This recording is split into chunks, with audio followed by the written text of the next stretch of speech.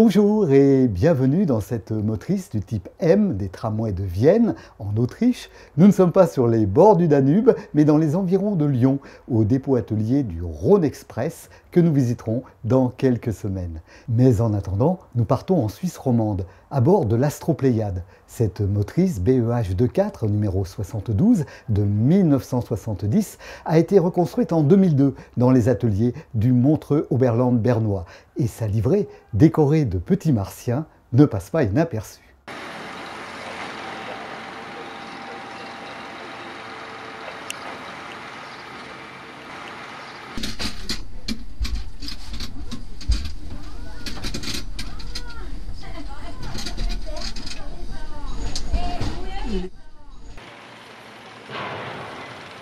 Donc là, on est à bord d'une BEH 72 ou 72 à destination des Pléiades.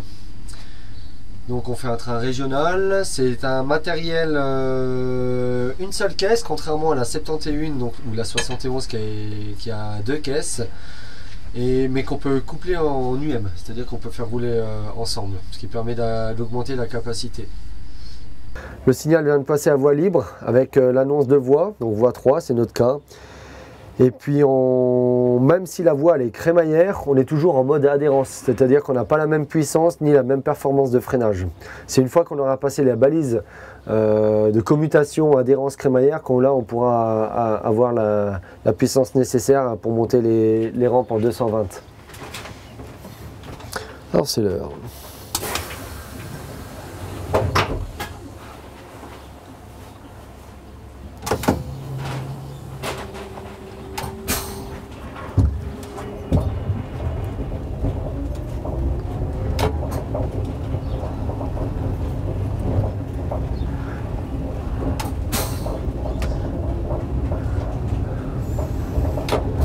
Un peu comme les rochers de nez, les aiguilles en crémaillère, elles sont limitées en vitesse, au 6 km h Train régional pour les Pléiades.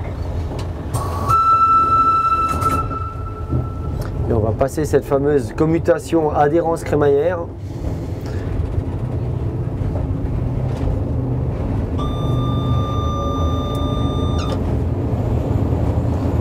Voilà. On a commuté en crémaillère, donc maintenant on développe plus de puissance pour les fortes rampes. Et surtout, on active un autre système de frein pour la crémaillère.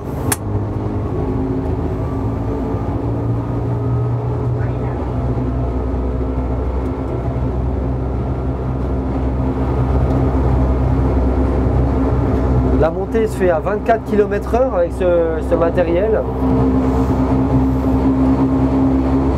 Comme on peut constater, on est à 24,00.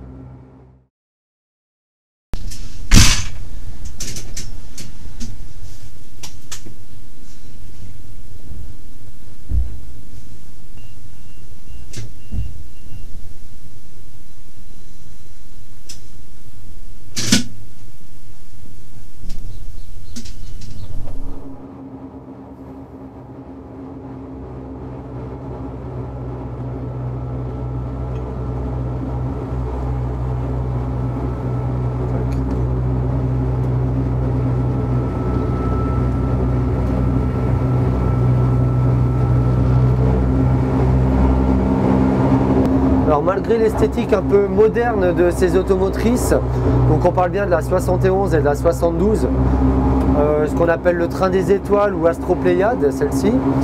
En fait, c'est du matériel qui est du début des années 70. Donc, c'est ces fameuses automotrices rouges. On en avait 5. On en a pris deux et puis on les a complètement transformées dans, nos ateliers euh, courant au début des années 2000.